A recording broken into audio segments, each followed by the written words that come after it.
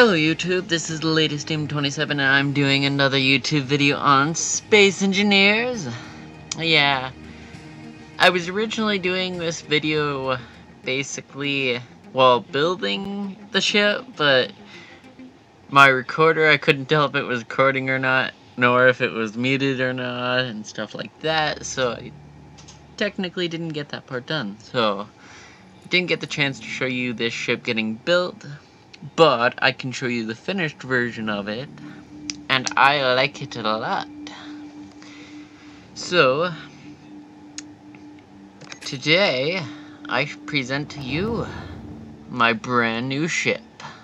it's called Nofem BSI Tech. Fancy. I have no weapons on this ship, but it is completely survival ready. So, uh, you can survive on this thing anywhere. The med bay is on top, right here. And it's on bottom, so this is a completely 3D ship, so top to bottom are exactly the same. And uh, side to side are exactly the same. The letters are the only difference in this entire ship. So, when we go into the top half, there's stuff like that. The two reactors are in this section. This is also where we have two torpedoes that I technically made. I couldn't figure out how to get the gyroscopes to work when you're in remote control mode, but that doesn't matter at the moment. We have torpedoes. So, um, you can connect on either side of the ship. It has four assemblers inside of it. It has lot of oxygen generators and oxygen tanks. This runs on hydrogen and ion thrusters, so you can stop with ion and hydrogen. You can fly with hydrogen or ion, so you, I think you can land this on a planet. I'll probably do that later in the video. It has two jump drives, and the assemblers have uh, power efficiency modules on them, so then the ship doesn't take up too much power just producing stuff. I was thinking about what to add on, but both assemblers have two, because I couldn't fit uh, four on each. So, that's how that works. And then, uh, you can fly this in either direction, really. I like it in wide, but since this is a kinda 2D ship, it looks cool either way. I like it this way. And this way, I kinda just chose this direction because I like it. But since this is two-sided, I have uh, two sets of gravity generators, so there's two command decks. You can be on this deck, or on the other deck, this side. So you can be on either side basically. These are the main thrusters back here, and that be the big ion thrusters that you fly with. It doesn't stop very fast, that's the only issue that I have with this, but as long as you have hydrogen on for stopping, you probably shouldn't have a problem, because there's six thrusters for stopping power. Now, there is a room that is oxygenated, so you won't die of oxygen, and that, I'll show you that in a moment. These are the torpedo things that I came up with.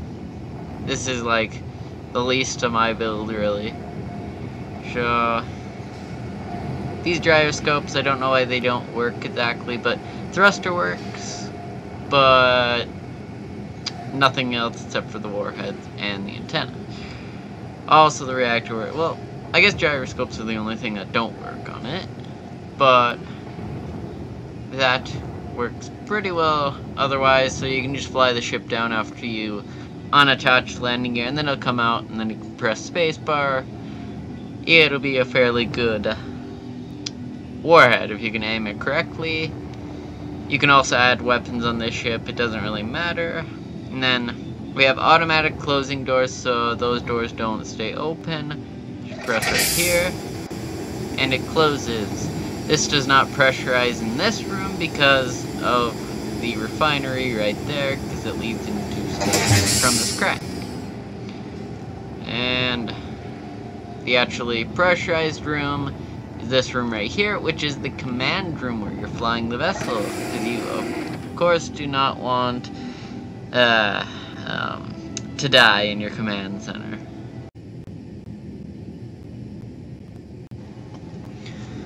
Sorry about that. My game actually crashed because I opened a door. the door that I'm looking at right now through my escape button.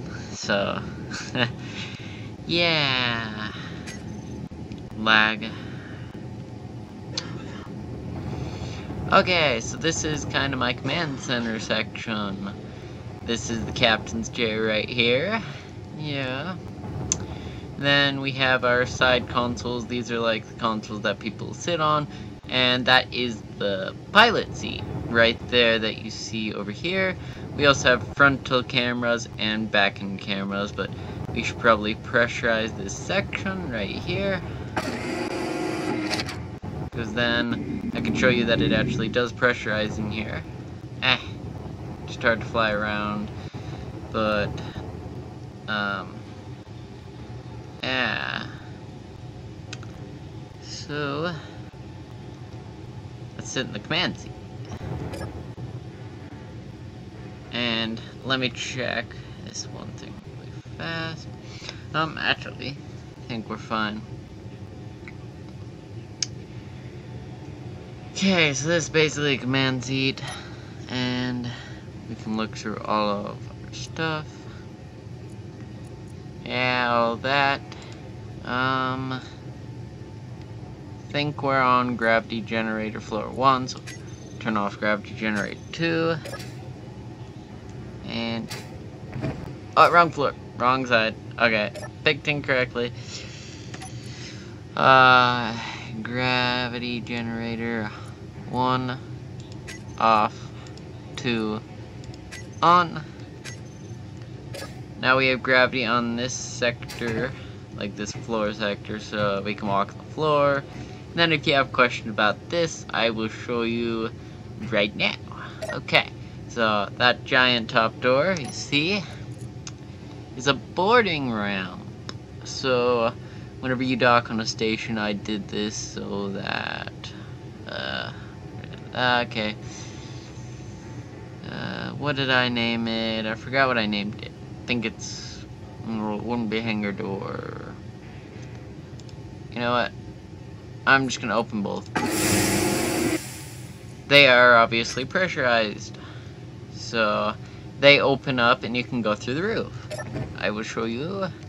Then if you flip the gravity, this will work as a ramp to walk up. So you can walk through that and go, wee! Oh no, I'm in space. Or you can dock on a station, come out the command center, so that's kind of like your quick exit. Because you don't want people coming in and like destroying your stuff or completely killing you. that would be bad. And yeah. Well, I don't really know much else about this ship that I can show you, so I will be right back to show you if we can fly into atmosphere. Yeah, that'll be cool to see if we can fly in. If we can't, then you all will know. Okay, so I will be right back.